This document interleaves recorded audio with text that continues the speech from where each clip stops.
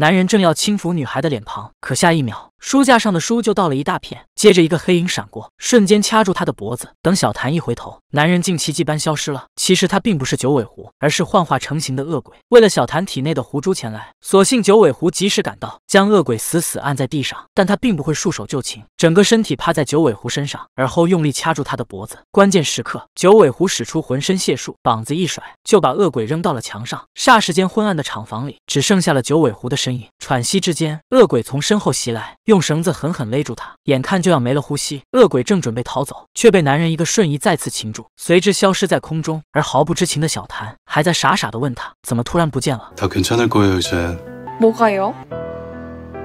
피곤하거나졸려서집에오고싶어지면저한테전화해요听到九尾狐关心的话，小谭开心的合不拢嘴，完全没有留意到九尾狐心事重重。 이제 아무 생각 말고 처음 그 염원만 생각해. 이제 정말 다 왔잖아. 영감 말대로 그쪽까지 그렇게 되면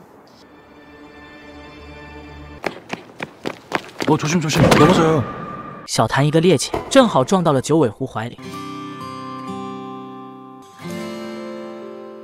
그거 봐요 내가 넘어진다 그랬잖아요 그러게요. 큰일 날 뻔. 而九尾狐突然约小谭去旅行，却是为了取出他体内的狐珠。一路上，他不停的和小谭拍照，想给这段感情画上圆满的句号。不知情的小谭玩得非常开心， 아무것도 기억할 수 없을 거예요 한숨 자고 일어나면 모두 다 끝났을 테니까 아주 짧은 꿈을 꾼 거예요 담시 两人接吻的瞬间，一颗闪着红光的珠子飞出，回到了九尾狐体内。最后一刻，小谭流下了眼泪。第二天，小谭从家中醒来，弟弟也忘了他曾经搬出去过。然而他根本没有失忆。往事一幕一幕浮现在脑海里，蹲在地上大哭起来。而实际九尾狐也不好受，一个人幻想着小谭还在的日子。这时门铃响起，一走到门边，耳畔响起。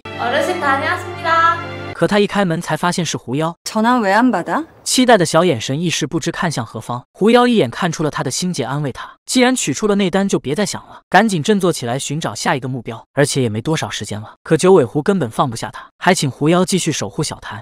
구슬 꺼내는 방법 사실 처음부터 알고 있었어요 알면서도 담비 씨를 속였어요 난 인간이 되기 위해서 전기가 필요했고 而小谭回想起九尾狐的坦白，自己不过是被抛弃的消耗品，便决定要把之前没做的事情都要做个够。这个女孩八百年没吃过鸡腿似的，不停的吃吃吃，完了还不忘做两下，最后配上八十二年的柠檬啤酒一饮而尽。 아, 오래 마셔. 어, 역시 인맥보단 치맥이지.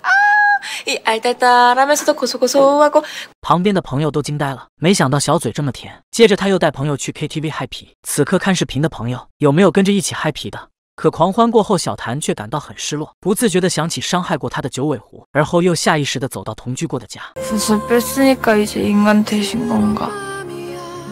내가 쓴 전기로 第二天，小谭还在为自己的单向丝感伤，偏偏天空下起了大雨，还真是悲情戏氛围啊！ 就在他准备冒雨前进时，一把大伞替他遮挡风雨，而这人正是他日思夜想的九尾狐。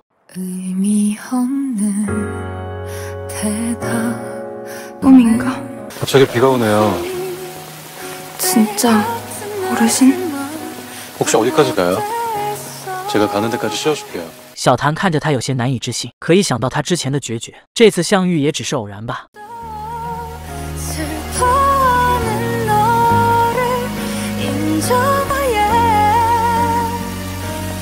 정말로 무슨 일 있나? 그렇게 아무런 변명도 없이 끝을 내신 건 결국 나는 어르신에게 그 정도 인연에 불과했던 거다. 소나기 같은. 저 여기까지만 데려다 주셔도 될 것 같아요.小谭假装失意的向他道谢。 감사했습니다. 다시 돌아봐도 너를 볼 수 없는 걸 이게 마지막이겠지. 于是小谭打算淋雨一直走。 잭슨 잊어버릴 비 맞지 말고 이거 쓰고 가요 하늘도 그쪽으로 다니 제가 왜요? 켜야 하겠지 本以为这样就结束了，可当上课时，同学们突然一阵激动。 告诉我这不是幻觉。九尾狐竟然走了进来，成为了他的历史课教授。